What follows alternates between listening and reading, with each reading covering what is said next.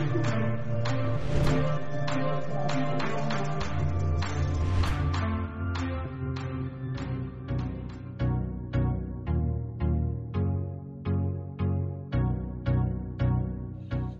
is going on guys, I hope you guys enjoyed the video. I shot the sequence in Turkey, it was all a handheld and I used my Sony a7 III. So this is my first ever tutorial video and I'm going to show you guys how I did some of the seamless transitions.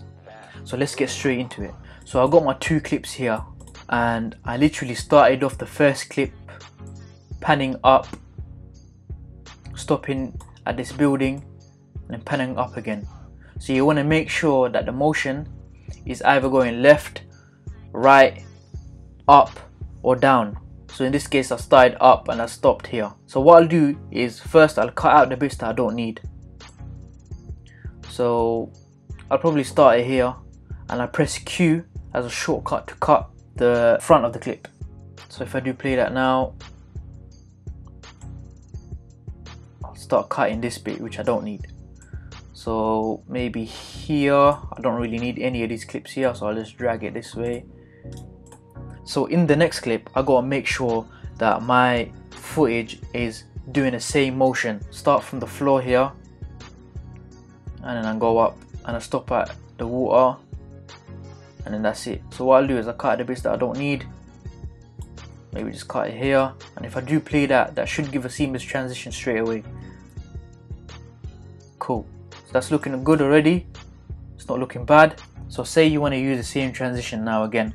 But this time you're going in a right motion left motion. Literally it's the same thing same process. So on these two clips I'm going in the right motion. And this quad goes right as well so I can utilize that. So what I'll do I'll cut the bits that I don't need.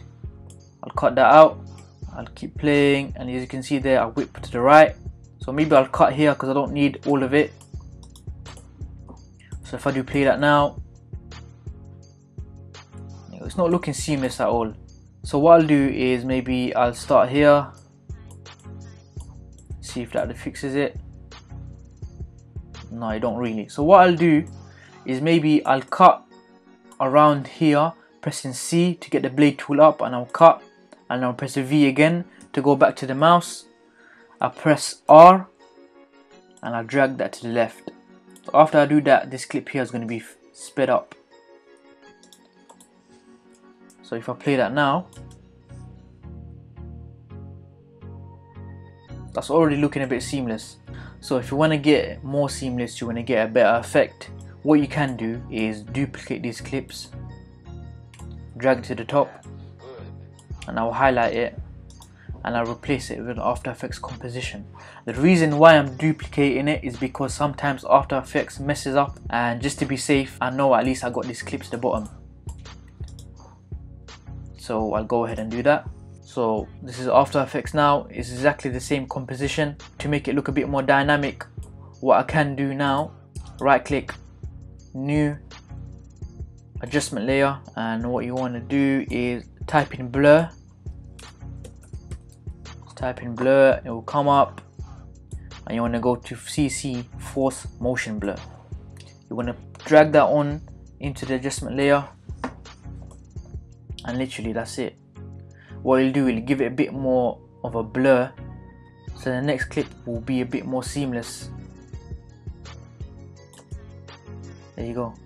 So literally that's it. You're good to go. You can use these in your videos. Um, send me a link in the description to your videos and give me a thumbs up, give me a subscribe, I'll see you later.